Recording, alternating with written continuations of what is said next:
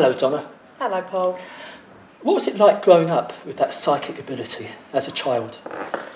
Um, it was strange, like I said to you earlier, I was four when I first saw Spirit. That obviously now he's my guide, he works with me. And I, to be honest, Paul, I don't know any different. It's Mm. something that I've grown up with since I was four, and it's until this day it's with me, and hopefully it'll stay with me to the day I pass over. So, what did happen at four? What, what did manifest with you? I was laying in bed and I see this man standing in my doorway. And obviously, as a child, it sort of scared me. And I remember getting up and running to my mum and dad's bedroom and saying, Mum, there's a man standing in my bedroom. And they just put it down to like a childhood thing and go back to bed like they did. And it went on for weeks and weeks. And then my nan, um, which she was a psychic um, spiritualist lady and a healer, my mum called her in and she sat with me one evening and obviously it got later and later she turned around and she see him as well. And she turned around and to my mum. Now she see him. Mm. and it just went from there really. And it just So, you inherited it, or the gift from your nan. I believe so, So what did your parents make out of all this? um my dad funny enough my dad's obviously his mum she was the lady the, Yeah. the healer. And my dad never believed in it. And so he sort of poo-pooed it really. Uh, my mum never knocked it but um, she didn't understand why I was seeing it so early Mm. and so it just I don't know, it was just one of them things that happened Can you describe this man you saw? Yeah, he was a he was a tall guy. He must have been about six foot. I can still see his face now, and he had a dark dark brown suit on, a bowler hat, and t- I never see his face until this day. I've never seen his face. Mm.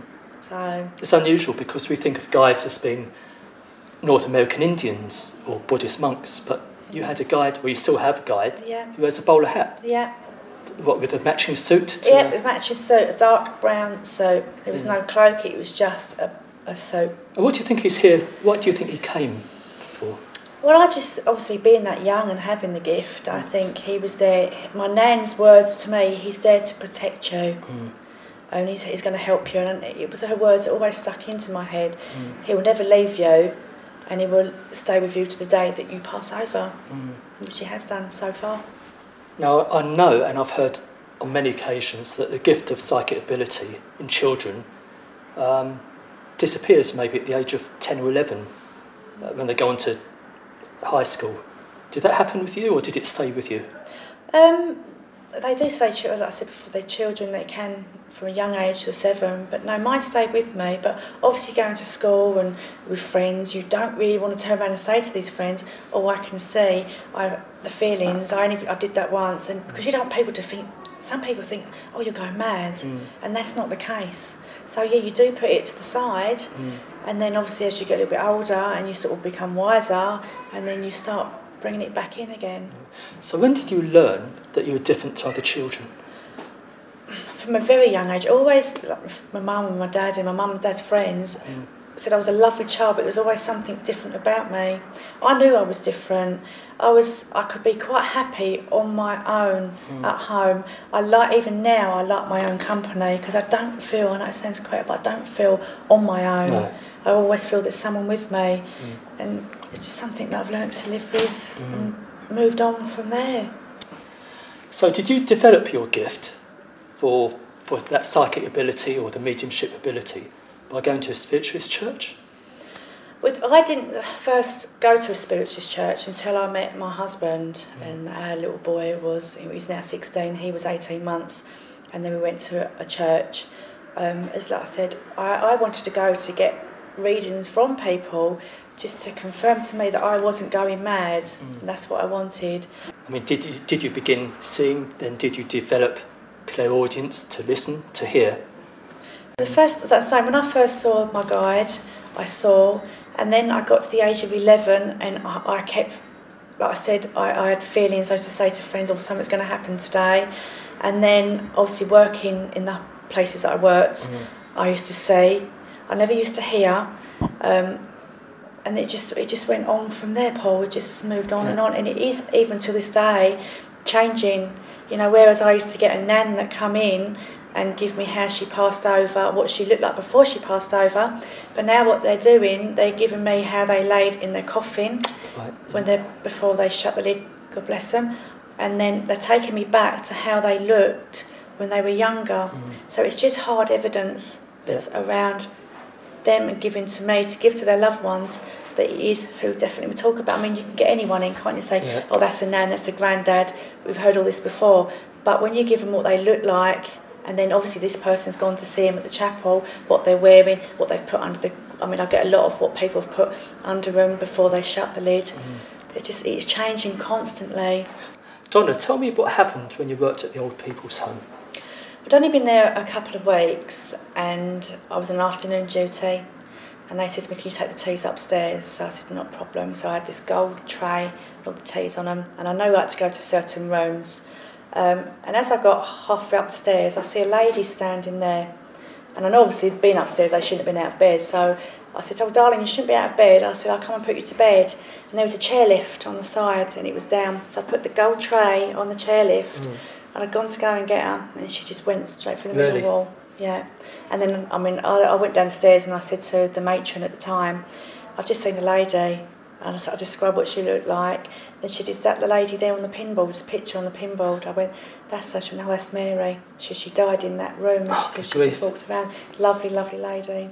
Do you ever get frightened by what you see? Never. Yeah. Never, ever. I absolutely love it. As a child, um, with that psychic ability, you're continu- continuously open, I should imagine, to the spirit world. But in, when you sat in a circle, were you taught how to shut off from the spirit world and open up when you make want to make contact? They, they, the way that the lady that I went to see in, in a open and closed circle, um, I can't really. I mean, remember going there, but she sort of taught you the way that she taught that says to her open. It's not the way that I use now. Mm. My way is completely different because they have the obviously the third eye and everything. They open everything up. I don't do that, you Mhm. know. So I do my own thing, Yeah. And I just sit- I open what I do when I start Yeah. reading someone. I open my iron door, Right. and then when I finish someone, I shut my iron door, and then that's me done. What would happen, Donna, if you didn't open yourself up or shut down? I've only ever done that once, Paul. I I did a late reading from a lady in London, and I didn't shut down properly. And obviously, I'd come in from where I'm working, and I've gone to bed. And I remember being asleep for about an hour, and I had her dad standing there poking me in the face because he wanted to give her more messages. And it frightened me. It absolutely petrified me. Now, Darren was in the room with me, and I had sort of like a, I can call it like a mini panic attack because it never happened to me before. And what I'd actually done is that my guy told me I hadn't closed down properly. Instead of coming in, sitting down, relaxing, Mm-hmm. I'd gone straight to bed.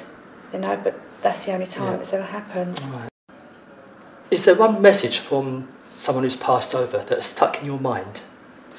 Um, I did a night in Portugal. I did a show in Portugal um, two or three weeks ago, and there was a lady there that really wanted a message from her son. Now this is going back 20 years ago. He was five months old when he passed over, and she just wanted a message for him, and he come through.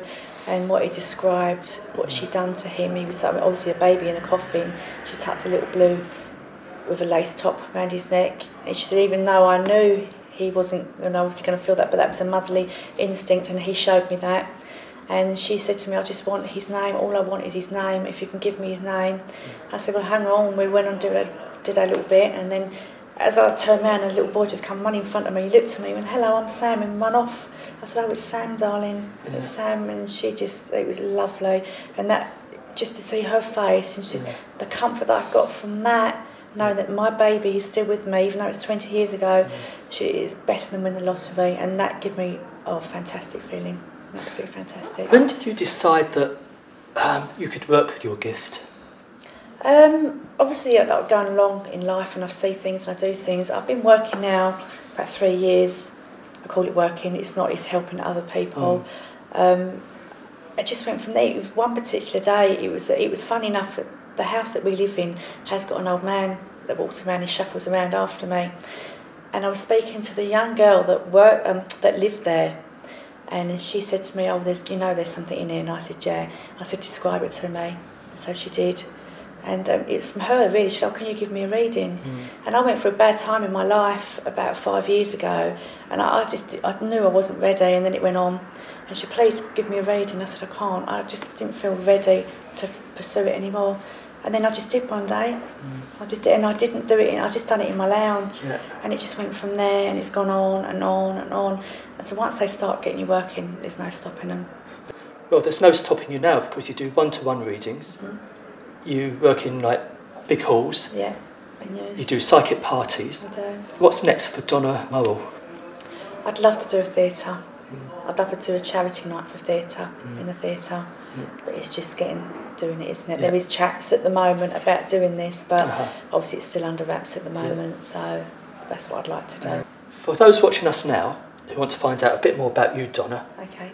what, what's your website address? It's www.psychicmediumdonna.co.uk. Right, uh, And they can find out a bit more history about you and You can. It's all on there, all about me, all the venues where I work at, the charity nights that we do, everything that you need to know is on there. Right. Now, also, for those who want to become involved in mediumship mm-hmm. or, or want to gain that psychic ability, because I do believe it's in, it's innate in all of us, Yeah. so I believe. Mm-hmm. What advice would you give them? I would say go to your nearest spiritualist church, Mm. and then from them, they most spiritualist churches do circles, and they can invite you from there. Or there's people in the churches that do their own circles, and it just goes on from there. That's Mm. what I would advise to go and do. So You have children, Donna. I have. Now, you, uh, as we said, naturally gifted psychic. Have your children shown signs of that gift as well? My oldest boy did. Um, when we lived at our old place, he was about 18, not 18 months old, going on to two and a half, and he said to me one day, Mummy's, ladies, in their words, Mummy, lady on my bed. And I said, well, just ask her to go, darling. And he, he said, off my bed. And she went, and it was a lady that passed away in the bungalow, and her name was Rita. But he got to the age of seven, and it disappeared, and he, he hasn't Oh, really did? seen anything, you know, since then, really. Uh, so it disappeared of him, but Yeah. as a child with you, Yeah. it carried on. Yeah, that's it. It's different. But hopefully, I mean, they say you can progress as they get older, Mm. but I can't see it with him at the moment. No, I can't. No, not at all. Okay. Well, Donna, I wish you well for your future, Thank you. and I hope you get in the theatres Thank you. I hope so. and spreading the word of eternal life. Lovely. It's been a pleasure meeting you. Lovely. Thank you for inviting me, Paul. Thank you. Thank you for watching another episode of the Eternal Spirit television show.